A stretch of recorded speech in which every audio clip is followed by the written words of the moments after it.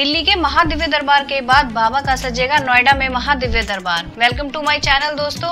नोएडा में सजेगा बाबा का दिव्य दरबार। दिल्ली की असीम सफलता के बाद बाबा बागेश्वर का सजेगा दिव्य दरबार नोएडा में। वीडियो में बने रहना मेरे साथ। मैं देती हूँ आपको पूरी जानकारी कहाँ, कैसे और कब सजेगा बाबा का नोएडा में दिव्य दरबार। तो दोस्तों 9 से 16 जुलाई तक बाबा के श्रीमुख से कथा प्रवचन होगा। 12 को दिव्य दरबार और 14 जुलाई को सनातन धर्म सभा का आयोजन होगा। 16 जुलाई को होगा कथा प्रवचन और 12 जुलाई को सजेगा बाबा का दिव्य दरबार। दिव्य दरबार में बाबा खोलेंगे, लोगों की पर्ची होंगे चमत्कार। ग्रेटर नोएडा में बाबा बागेश्वर धाम का दिव्य दरबार 9 से 16 जुलाई तक सजेगा। इस दौरान बाबा श्री हनुमंत कथा का पाठ करेंगे। कार्यक्रम में 20 लाख से ज़्यादा श्रद्धालुओं के आगमन का दावा किया गया है। दोस्तों, नोएडा में भी 20 लाख से ज़्यादा लोगों के आने की आशंका जताई जा रही है। पंडाल को भव्य रूप से तैयार किया गया है। इसके लिए 2000 सीसीटीवी कैमरा वाला पंडाल तैयार कराया गया है। बाबा बागेश्वर के दिव्य दरबार में भारी संख्या में शामिल होने की अपील जताई जाती है। यहाँ पर इस बात का भी ज़िक्र कर दें कि दिल्ली से सटे ग्रेटर नोएडा में बाबा बागेश्वर का यूपी में ये पहला कार्यक्रम है।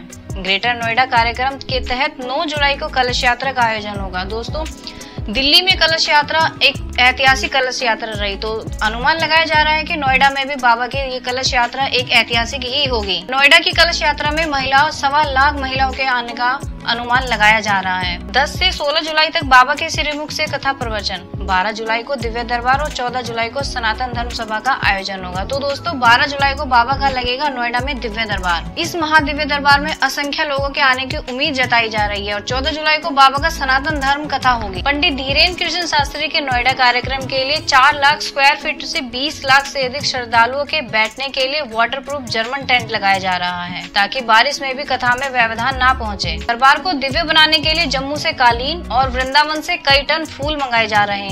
तो दोस्तों, बाबा के दिव्य दरबार को सजाने के लिए जम्मू से कालीन मंगाया जा रहा है और वृंदावन के फूलों से बाबा बागेश्वर का दिव्य दरबार को सजाया जाएगा। विशेष अतिथियों के लिए 200 कमरे बनाए गए हैं। गौतम बुद्ध नगर प्रशासन के सहयोग से 10 पार्किंग बनाई गई है।